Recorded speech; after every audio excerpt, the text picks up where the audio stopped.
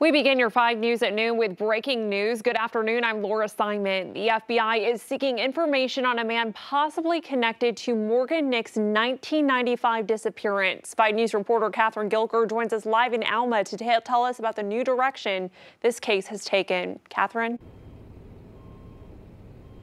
Morgan Nick disappeared from this area in Alma 26 years ago when she was just six years old. Police have never been able to identify a prime suspect in the case. But today the FBI says they are closer than ever to identifying who they believe kidnapped Morgan Nick. The FBI is asking for information about Billy Jack Lincks, who was born and raised in Crawford County. They say he served in the Army during World War II. Then he worked at Braniff Airlines in Dallas from 1962 to 1974. They say he came back to Van Buren in the late 70s. The FBI says two months later, two months after Morgan's disappearance, Lincks attempted to take a girl in Van Buren.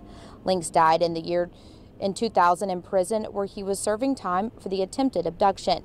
He had also been previously charged for sexual abuse. Now, if you knew Lincks or anyone who did know him, you were asked to call the FBI. They say no piece of information is too small or insignificant.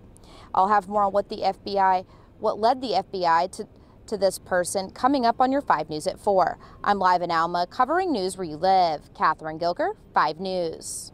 All right, Catherine, thank you for that update there. The number the FBI is asking people to call with any information is 1 800 CALL FBI.